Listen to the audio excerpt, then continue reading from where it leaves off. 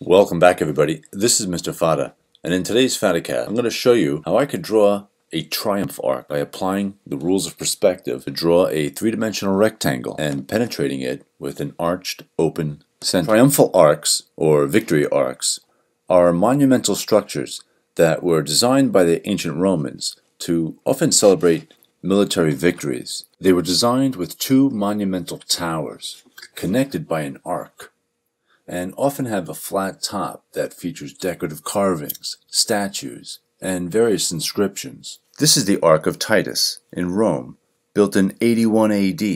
The most famous arc is probably the Arc de Triomphe in Paris, France.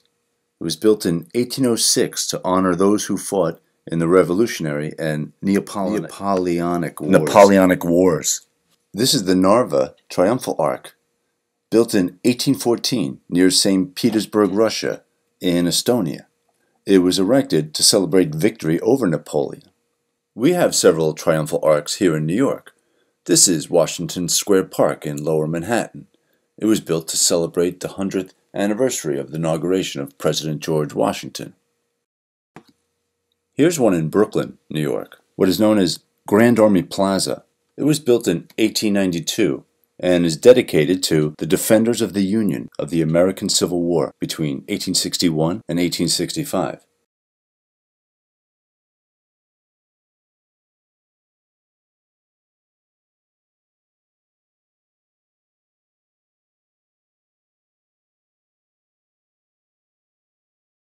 First, I'm going to sketch out the 3D shape of a rectangular block with a large archway on the wide side and a smaller archway on the narrow side.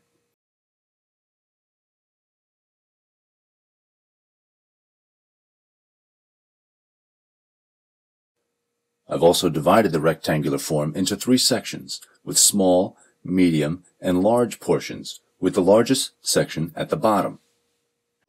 I'm then going to refine my perspective drawing by darkening some lines.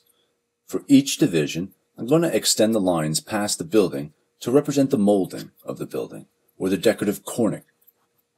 I'll then work in some of the details and the medium-sized shapes.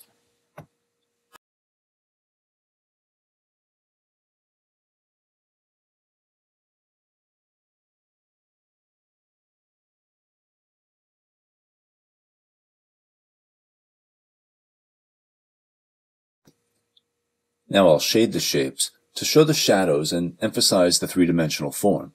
Establish where the darkest darks are, and where the medium shades are, and where the highlights of the structure are seen.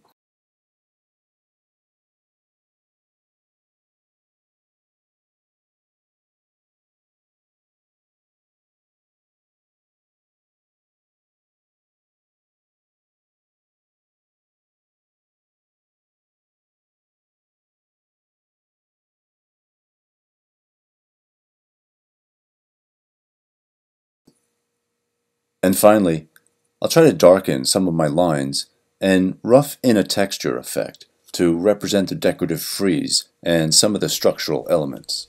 There you have it everyone. I can draw a triumphal arc by applying the rule of perspective to draw a three-dimensional rectangle and penetrating it with an arched open center. That's, That's our FattaCast for today. Join, Join us next time. time.